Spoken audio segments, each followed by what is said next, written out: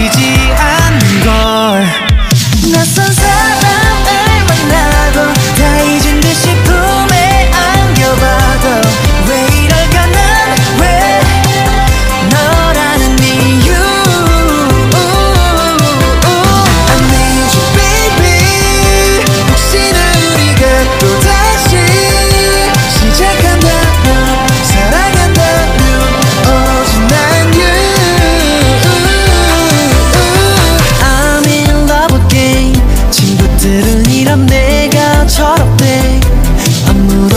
괜찮은 척 잘 지낸단 말로 감정 없는 사람처럼 보인대.